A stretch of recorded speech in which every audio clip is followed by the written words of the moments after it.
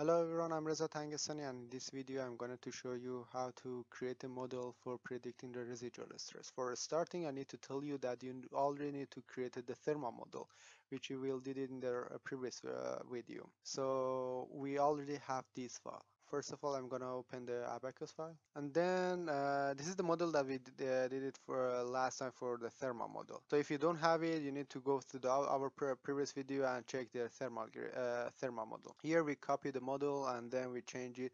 You can rename it uh, whatever you want, but I prefer to put two here. Here is a model two you can see that we are in the model 2 in part we don't need to change anything in property we need to add the mechanical properties. So material one, I'm gonna add elastic here 200E9 uh, portion of is uh, 0.3 and for plastic we have 200E6 0 we don't need to define the complex plastic uh, behavior for the material so everything's fine here. And now for here we need to go to expansion and then we need to define the expansion coefficient in here I'm gonna say e1 e minus 6 okay? Uh, everything's fine now. I'm gonna close it. Next one is assembly. Assembly is fine. And then uh, for the step. Before going to a step I would like to go to the interaction here.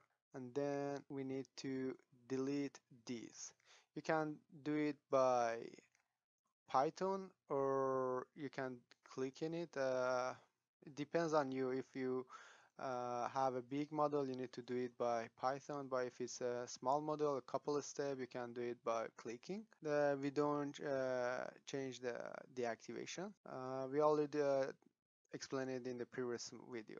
So we don't need to do it, uh, explain it here. And then the next step, we go here and then I'm gonna deactivate all of them but here we need to define the st uh, statical general. So I'm gonna replace it with the statical static general uh, here. Um, kind of NLGEOM we put an NLGEOM on and then the same value for step which is 1 e minus 5 uh, everything's fine here. We put 0 in here and let's make it um, um, 1 e minus 6 okay. And then for interaction is everything is fine. I'm gonna uh, explain later. For load for the first step I need to save the file. Make sure that you already define the set directory. As you can see I already saved the directory so I have it in here. So when I send save the file you're gonna see it's gonna be updated. I'm gonna copy and paste it in here and change it to python.py by this I'm going to change the format. I'm going to open it now. And this is the python file that I, we created okay I need this code. And also we already uh, gave you another file for welding. I'm gonna open it. We're gonna use this file again. So in here I'm gonna copy this code. This is the new code. I, as I said I explained it in the uh, other uh, video that how the Python code works. Put it in here and here I'm just need to copy this. Uh, we don't have this one initial we have it so I'm gonna put it here initial maximum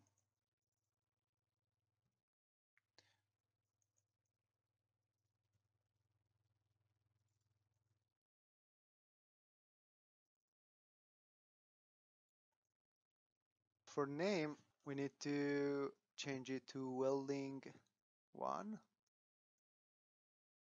And NLGEOM previous, it should be uh, priest because we are working on welding one pre step for for time period it should be one second. So I'm gonna say one for here. And I think it's everything's fine here I'm gonna copy this again and put in here but with only this different that now the previous should be like this uh, the name it should be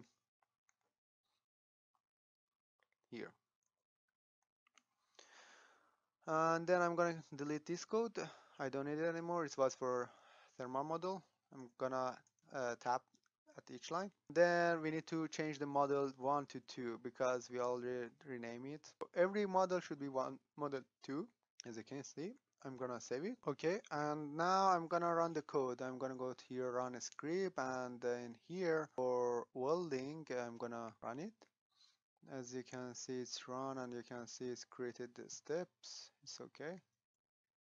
Um, and now if I go to a step I can see it's already defined a new step. Here they are. And now there are a couple uh, changes that I need to do.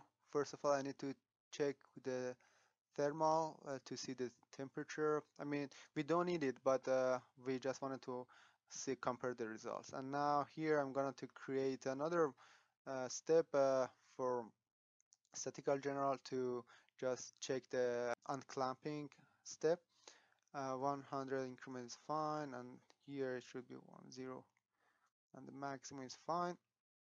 It's a kind of dummy step so it's not very important but we need it. And then here I'm in the interaction. We already defined the code so if we check on it we can see it has the activating elements so it's good. Now we can go for load.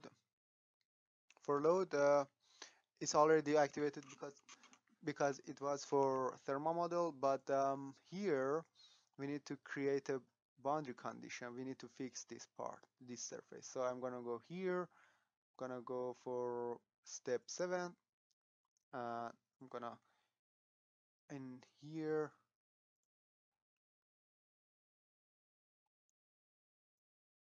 I need to put it in step uh, in the first step but in step 7 I need to deactivate it because to to show unclamping. After deactivating this you need to create another boundary condition for convergence issue. So I would seventh at the last step you're gonna go with this uh, uh, select one node in here for example and then you're gonna isometrically just to make sure that it's gonna converge. Otherwise it might not converge. It depends so here is everything fine. Uh, the, th uh, the other thing that we need to do is uh, defining the temperature in to couple the thermal model to the mechanical model. So I'm here and we're gonna go and create the predefined temperature and here uh, from the previous step I'm gonna say continue. I select the whole and then here I'm gonna use from the output I'm gonna use the old model that we did we did uh, the old results the beginning step, the first step was one, increment was one, end step and end increment. Uh, we don't put any value for ending increment. If you your mesh is same, you need to check this, and if it's your mesh is not same, you can check this one. I mean the size of the the elements, but always check this one is good when you open it you already can see this one. This is for the thermal model that we did. It was for defining the uh, initial temperature. We don't need it anymore. So I'm going to deactivate it and, here uh, modify these values. Here I'm going to say modify. Uh, this step is for the second one. So I'm going to say begin step 2 and step 2 beginning increment should be 1 for here again modify. 3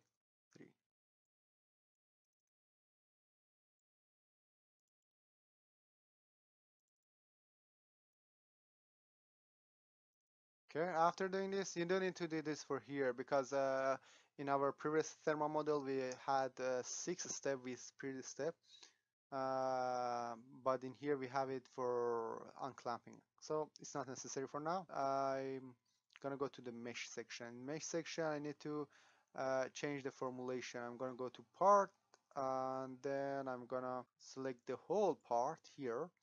Uh, select 3D okay Re uncheck the re reduce integration. It's not good. Uh, I need to explain it more but now uh, just to have a better convergence uh, for definitely additive manufacturing building you, you need to uncheck it. Okay after that you uh, do that and now you can go to job and create your, your job. Uh, create job 2 it's fine. And now you submit your job As you can see, the job is completed, so we can see the results. I'm gonna go here and then Um, here you can see the changes in the, during uh, manufacturing. Okay, and also you can see the temperature uh, temperature because we checked the NT11 you can see the movement of the laser on or the arc on the material but if you want if you want to see the changes in, in residual acid during manufacturing you can click, uh, select on here and then you can go for ODB here you check on the centroid. Edit. Here. I'm gonna select this one. I'm gonna plot it.